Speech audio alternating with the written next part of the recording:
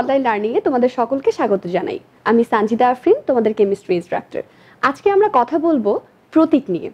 মৌলের প্রতীক কি এবং এটা কেন আমরা ব্যবহার করি এবং কি ধরনের নিয়ম আমরা অনুসরণ করলে মৌলের প্রতীকগুলো ঠিকঠাকভাবে জানতে পারব সেগুলো নিয়ে আমাদের আজকের ক্লাস এবং ক্লাসের শেষে আমরা জানব আমাদের প্রতীকগুলোর যে তাৎপর্য আছে।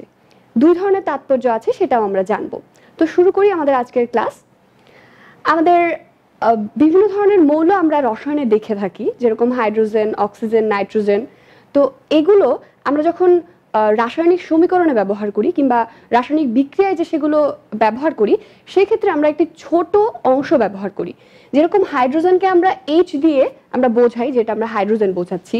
নাইট্রোজেনকে আমরা এন দিয়ে বোঝাই, যে আমরা নাইট্রোজেনকে এন দ্বারা বোঝাচ্ছি। তো এই জিনিসটা আমরা কেন করি? আমাদের সকলেরই দেখা যায় একটা সম্পূর্ণ নাম আছে ফুল নেম আছে, যেমন আমার নাম হচ্ছে সানজিদা আফরিন। তো আমাকে কিন্তু সবাই সানজিদা আফরিন ডাকে না, আমাকে হচ্ছে সানজিদা বলে ডাকে। তো ব্যাপারটা এরকমই যে আমরা হাইড্রোজেনকে সম্পূর্ণ হাইড্রোজেন না বলে শুধু এইচ বলছি। এবং এটা শুধু আমাদের সুবিধার জন্যই আমরা করে নিচ্ছি। এটার জন্য তেমন কোনো বৈজ্ঞানিক ব্যাখ্যা নাই।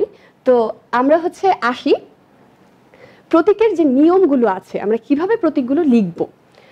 তো সিম্পলি হচ্ছে যদি আমরা চিন্তা করি, তাহলে হচ্ছে হাইড্রোজেন যা আছে হাইড্রোজেনের প্রথম অক্ষর এইচ সেজন্য আমরা হাইড্রোজেনের প্রতীক হিসেবে এইচ কে ব্যবহার করছি।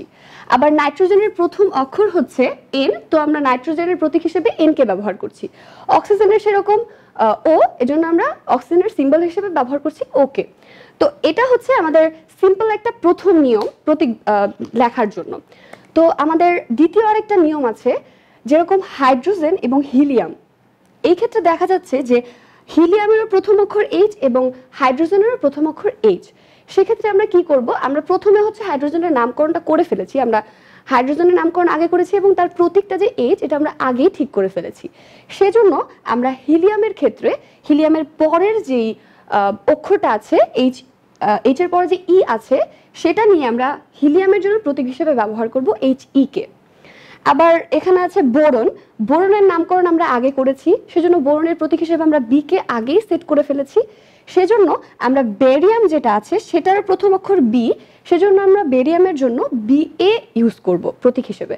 তো এরকম তোমাদের বইয়ে অনেক ধরনের মৌলগুলো আছে এবং তাদের যে প্রতীকগুলো আছে, সেগুলো আমরা দেখতে পারব এবং আমরা সেগুলো শিখে ফেলব।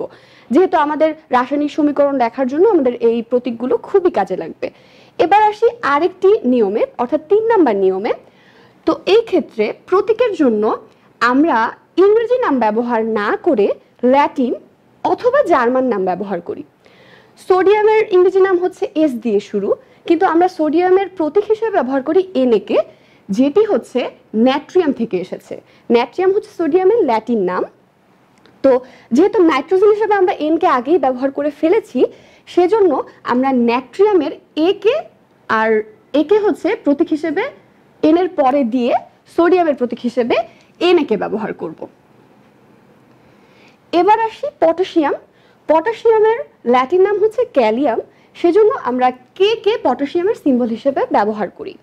এবার আসি আয়রনে আয়রনের হচ্ছে ল্যাটিন নাম ফেরাম তো আমরা ফেরামের এফ এবং ই দ্বারা আয়রনের প্রতীককে বুঝিয়ে থাকি। এবার আসি মার্কিউরি। মার্কিউরির ল্যাটিন নাম হচ্ছে হাইড্রোজাইরাম। তো আমরা সেজন্য আবার এইচ এর ব্যবহার তো আমরা দেখেই ফেলেছি। এইচ এর হচ্ছে প্রথম অক্ষর এইচ দিয়ে হাইড্রোজেন আছে, হিলিয়াম আছে। তো সেজন্য আমরা মার্কিউরিকে এইচ জি দ্বারা প্রকাশ করব। আচ্ছা এবার আসি তাৎপর্য। প্রতীকের যে তাৎপর্যটা, অর্থাৎ আমরা একটা কোনো মৌলের প্রতীক দিয়ে আমরা কি বুঝব সেটা। দুই ধরনের তাৎপর্য আছে। আমাদের কোনো প্রতীকের একটা হচ্ছে গুণগত বা আঙ্গিক বা কোয়ালিটেটিভ আমরা তিন ধরনের নাম দ্বারাই একে প্রকাশ করে থাকি, গুণগত, আঙ্গিক বা কোয়ালিটেটিভ তো সেই ক্ষেত্রে কি আসে? আমরা কোনো একটা মৌলের প্রতীক দিয়ে ওই মৌলটাকে বুঝে থাকি। যেরকম এই যে মৌলের পরিচয়টা আমি বলছি, সেটা হচ্ছে কোনো মৌলের প্রতীক দ্বারা আমি ওই মৌলটাকে বুঝে থাকি। এইচ দ্বারা আমি হাইড্রোজেনকে বুঝে থাকি এন দ্বারা আমি নাইট্রোজেনকে বুঝে থাকি ও দ্বারা আমি অক্সিজেনকে বুঝে থাকি। সুতরাং কোনো মৌলের পরিচয়টা ওই মৌলের প্রতীক বহন করে। আবার হচ্ছে জায়মান অবস্থা। জায়মান অবস্থা হচ্ছে কোনো মৌলের খুবই রিয়েক্টিভ একটা অবস্থা। যখন সে রাসায়নিক বিক্রিয়ায় অংশগ্রহণ করে, তখন পরমাণু অবস্থায় সে যে একটা অবস্থা থাকে এবং সে তখন খুবই রিয়েক্টিভ অবস্থা থাকে, অর্থাৎ খুবই দ্রুত রাসায়নিক বিক্রিয়ায় অংশগ্রহণ করে। সেক্ষেত্রেও আমি আমার প্রতীকটাকে ব্যবহার করতে পারব। এবার আসি পরিমাণগত বা মাত্রিক বা কোয়ালিটি কোয়ান্টিটেটিভ যেই তাৎপর্যটা আছে প্রতীকের, সেদিকে। তো পরিমাণগত সেটা দেখে আমরা বুঝতে পারছি, এই জিনিসটা হচ্ছে পরিমাণকে বোঝায়। কোনো একটা মৌলের কোনো কিছু পরিমাণকে যেটা দিয়ে আমি বোঝাবো, সেটা হচ্ছে পরিমাণগত বা মাত্রিক বা কোয়ান্টিটেটিভ তাৎপর্য যেটা, সেটা। তো একটি পরমাণু, একটি প্রতীককে আমি যখন লিখছি এইচ যখন লিখছি, তখন আমি দেখছি যে এইচ এর একটি পরমাণু উপস্থিত আছে। যদি আমি এইচ এর আগে টু দেই, তাহলে আমি বুঝব সেটি দুইটি পরমাণু, সেটি কিন্তু প্রতীক না। সেক্ষেত্রে আমি একটি, কোনো একটি মৌলের প্রতীক দিয়ে আমি বুঝতে পারব তার একটি পরমাণু এখানে উপস্থিত আছে। একটি পরমাণু গেল, এবার আসি পারমাণবিক ভর। যেহেতু আমরা পরমাণু নিয়ে কথা বলছি, মৌলের পরমাণুকে প্রকাশ করতে আমি প্রতীক ব্যবহার করছি, সেক্ষেত্রে আমার পারমাণবিক ভরটা আসবে। যেহেতু পরমাণু, সেহেতু পারমাণবিক ভর।